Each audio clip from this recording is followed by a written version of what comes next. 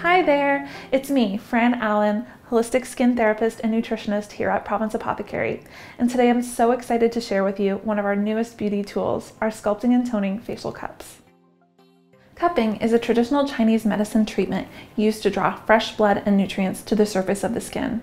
Facial cupping uses a similar technique to promote circulation and healthy glowing skin.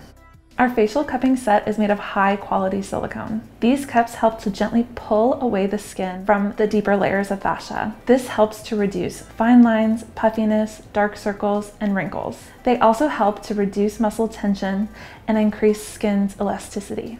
Overall, they're the perfect tool to rejuvenate dull, dry, dehydrated skin in the comfort of your home.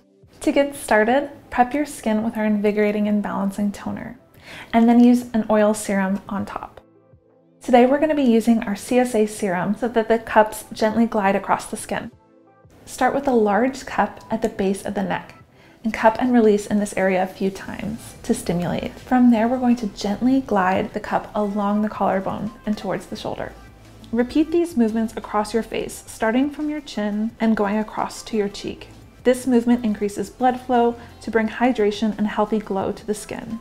It also helps to tone and firm sagging skin. Make sure to repeat on both sides.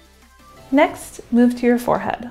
These movements help to firm the skin, smooth fine lines, and relieve muscle tension. Now switch to the smaller cup to cater to more delicate areas of skin, like around the eyes. These movements help to reduce puffiness, dark circles, and brighten the eye area. This small cup is also an excellent tool for the lips. It helps to naturally increase hydration, circulation, and naturally plump the appearance of the lips.